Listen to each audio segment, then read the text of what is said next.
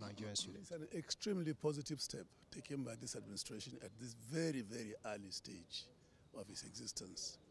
It will go a very, very long way, probably beyond what you and me can imagine today, you know, to alleviate the suffering that children, our children, those that are unfortunate, particularly those that are fortunate to have parents that are well-to-do.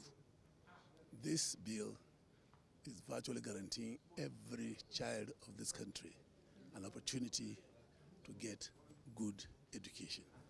We support it and uh, we stand with the president shoulder to shoulder, you know, in ensuring that this bill, its implementation becomes easy and becomes a duty that every person involved with government and support for our great party government will make sure it succeeds. Your Excellency, we must also commend you that uh, your party that you lead has been able to provide, um, to, to, produce new leadership uh, at the National Assembly. Uh, what would you say has led to the successful uh, emergence of these new leaders? Very, very thorough consultation. Respect for all those who deserve respect. This is what took us through this, you know, uh, very, very important step a very important uh, arm of government. And for people who don't know, the people who are into constitutional uh, law, the legislature is the first estate. And uh, no government can claim we are there, we are stable, we've got a government, the, the system that we operate without, you know, ensuring that the National Assembly is in stead. And this is what we've achieved today.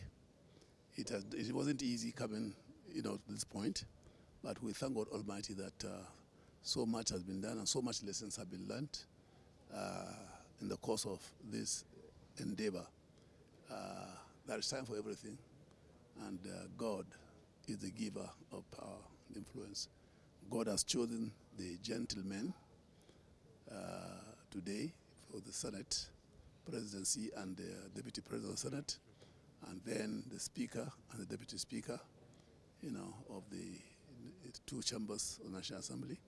And what is left now for us, the party, to sit, you know, and uh, determine, you know, the remaining, you know, members of the president, you know, what we call, you know, uh, uh, uh, each of these principal officers has got a deputy, you know, and then of course the majority leader of each of the chambers we are going to sit over this and uh, we want to believe that uh, we are going to waste no time whatsoever.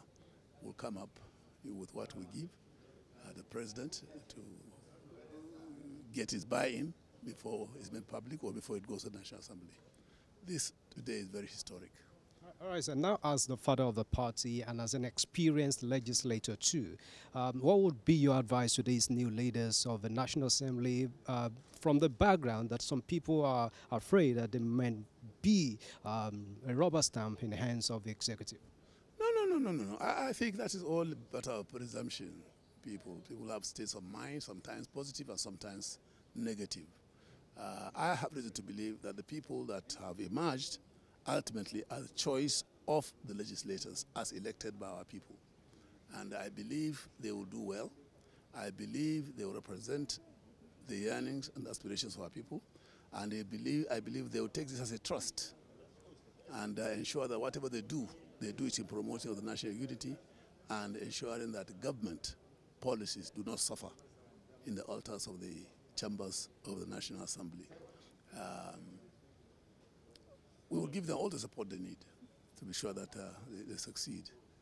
Um, all the fears that are being expressed, you, can't stop it with human beings, you know, and, uh, but uh, let us give them a trial, a fair trial.